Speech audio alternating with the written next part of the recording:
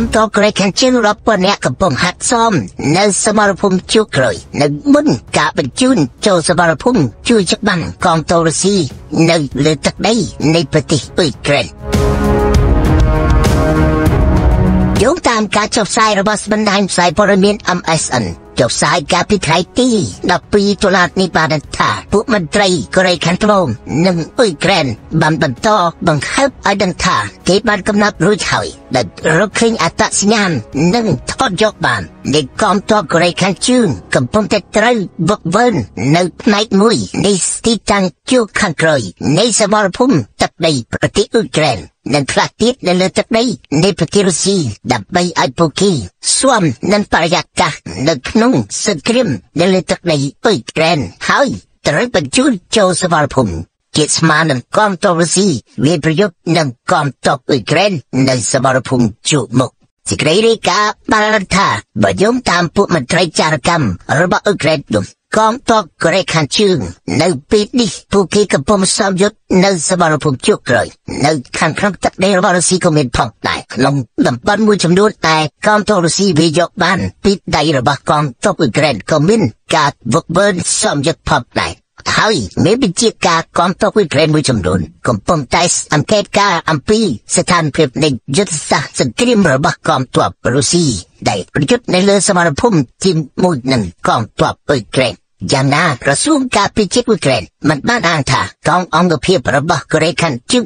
មានប្រមាណវរៈសេនាតូចឬប្រមាណប៉ុណ្ណេះកំពុងតែជោគគេស្មើនឹងកងទ័ពរុស្ស៊ីហើយកំពុងតែបុកវើនៅលើសមរភូមិខាងក្រោយមុននឹងចូលប្រយុទ្ធនោះទីមន្ត្រីទៅក្រែម្នាក់បានប្រាប់សារព័ត៌មាន Washington Post ថាជាច្រើនប៉ុណ្ណេះនៃកងទ័ពកូរ៉េខាងជើង សិតតែគិតទាត់ថ្លៃជើងពួកគេកំពុងតែវឹកវើការប្រយុទ្ធនៅលើទឹកដីរបស់រុស្ស៊ីគឺមានចំនួនច្រើនប៉ុណ្ណេះហើយនៅផ្នែកខ្លះនៅក្បែរសមរភូមិជោគមុខក៏មានការវឹកវើថប់ដែរ បញ្ជាការនៃកងទ័ពរបស់រុស្ស៊ីនេះដាក់ពង្រីពួកគេនៅសមរភូមិជោគមុខនៅតាមព្រំដែនរុស្ស៊ីជាប់នឹងអ៊ុយក្រែននិងសមរភូមិផ្ទាល់នៅចំឆ្នាំ2024នេះដែលគេថាជាការជួយកម្លាំងទ័ពរបស់រុស្ស៊ីដែលកំពុងប្រយុទ្ធនឹងការទប់ទល់យ៉ាងខ្លាំងរបស់កងទ័ពអ៊ុយក្រែនតែក៏មានសេចក្តីរាយការណ៍ថាកងទ័ពកូរ៉េខាងជើងទៅនោះក៏ស្ថិតនៅក្នុងផ្នែកខ្លះជាមួយនឹងកងទ័ពបំរុងរបស់រុស្ស៊ីផងដែរ អ្នកវិភាគក៏សម្គាល់ថាបើយោងតាមពួកមន្ត្រីអ៊ុយក្រែននិងកូរ៉េខាងត្បូងនោះកងទ័ពកូរ៉េខាងជើងទំនងមានវត្តមានរួចស្រេចហើយនៅក្នុងសបល់ភូមិដែលពួកគេត្រូវបានរៀបការមកថាបានប្រយុទ្ធជួយកងទ័ពរុស្ស៊ីរួចស្រេចទៅហើយ ម្យ៉ាងទៀតគេថាកងទ័ពកូរ៉េខាងជើង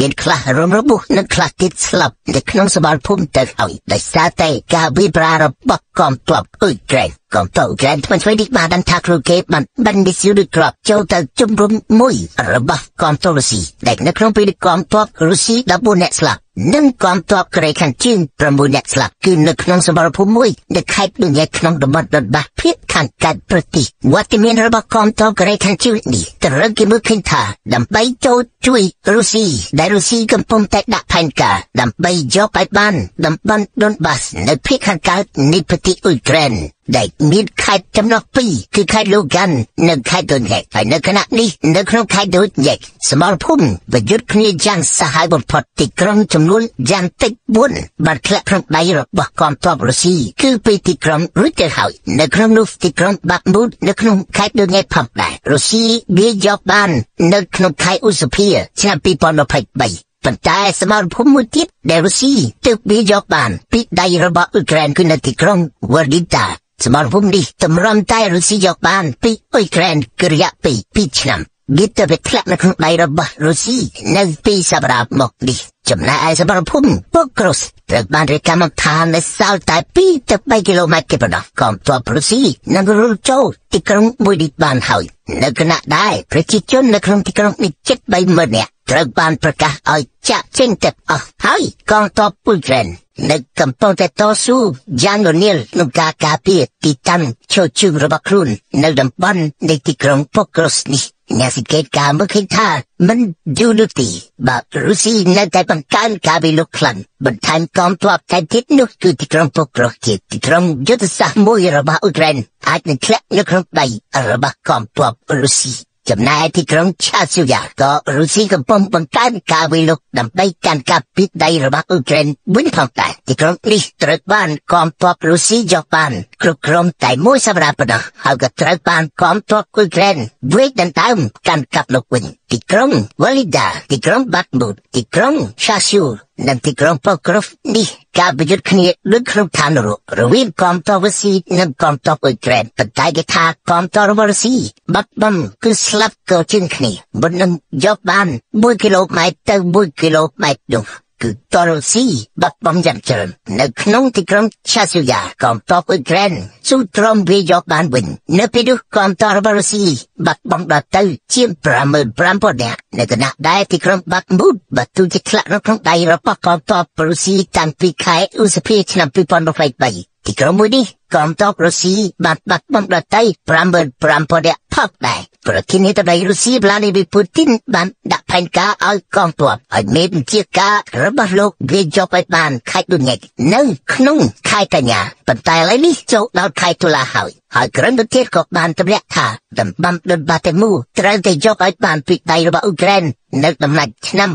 2024នេះ ចំពោះការមកដល់របស់កងទ័ពកូរ៉េខាងជើងនេះកំពុងតែចោទសួរថាតើវត្តមានរបស់តកូរ៉េខាងជើងវាផ្ដើមឲ្យមានការកៅទោសខ្លាំងណាស់ពីពួកបច្ចេកទេសតើតើពួកបច្ចេកទេសនឹងប្រតិកម្មដូចម្ដេចចំពោះរុស្ស៊ីនិងកូរ៉េខាងជើងនេះអ្នកសង្កេតការណ៍អ្នកវិភាគមើលឃើញថាតាមពិតកូរ៉េខាងជើងបានបញ្ជូនទ័ពរបស់ខ្លួនទៅជួយកងទ័ពរុស្ស៊ីនោះតាំងពីដើមឆ្នាំ2024 ដែលដំបូងកូរ៉េខាងជើងសាឡបោក្នុងការបញ្ជូនទ័ពជួយកងទ័ពរុស្ស៊ីត្រឹមតែទ័ពផាភីនិងទ័ពវិស្វកម្មតែប៉ុណ្ណោះដល់ពេលដែលអ៊ុយក្រែនឃើញសាកសពរបស់កងទ័ពកូរ៉េខាងជើង6នាក់ស្លាប់នៅក្នុងខេត្តដូញេកនោះពួកគេឃើញថាទាហានរបស់កូរ៉េខាងជើងគេនោះគឺជាទាហានប្រយុទ្ធនៅសមរភូមិផ្ទាល់តែម្ដងពុំមែនជាទាហានមកក្នុងអង្គភាពវិស្វកម្មឬផាភីនោះទេ ថ្មីថ្មីនេះសារព័ត៌មាន The Guardian នៃចក្រភពអង់គ្លេសបានធ្វើសេចក្តីរាយការណ៍ថាកងទ័ពកូរ៉េខាងជើងដែលមកជួយកងទ័ពរបស់រុស្ស៊ីនេះកាត់ឡើងគឺរួចពីដែរលោកឡាឌីមីពូទីនបានធ្វើទស្សនកិច្ចថ្មីមួយទៀតទៅកូរ៉េខាងជើងកាលពីខែទី18មិថុនាឆ្នាំ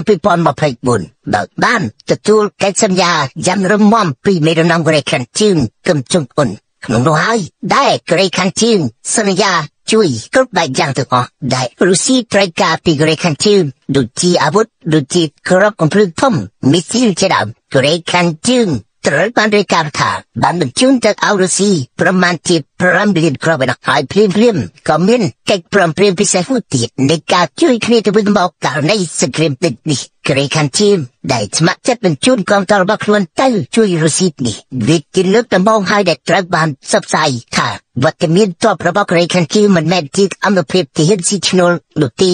វិគិតអន្តរភាពរៀបរយរបស់ក្រសួងការពារជាតិរបស់កូរ៉េខាងជើងដែលមាននៅលើសមរភូមិនៃប្រទេសអ៊ុយក្រែននៅក្នុងក្របខ័ណ្ឌនៃការជួយច្បាន់ឲ្យកងទ័ពរុស្ស៊ីប្រទេសកូរ៉េខាងត្បូងបានឲ្យដឹងថាការពិតកូរ៉េខាងជើងបានបញ្ជូនទ័ពរបស់ខ្លួនបន្ថែមទៀតនៅប្រមាណថ្ងៃមុខនេះ នៅគណៈដែលគេរកឃើញថាទ័ពរបស់កូរ៉េខាងជើងបានស្លាប់នៅក្នុងសបាល់ភូមិនៅក្នុងខេត្តលញ៉ែកនោះហើយទីក្រុងជុងយ៉ាងបានបានបដិសេធចំពោះការផ្សាយព័ត៌មានដែលថាពលរដ្ឋរបស់ខ្លួនបាត់បង់ជីវិតនៅក្នុងសបាល់ភូមិនៃប្រទេសអ៊ុយក្រែនដែលមកជួយកងទ័ពរុស្ស៊ី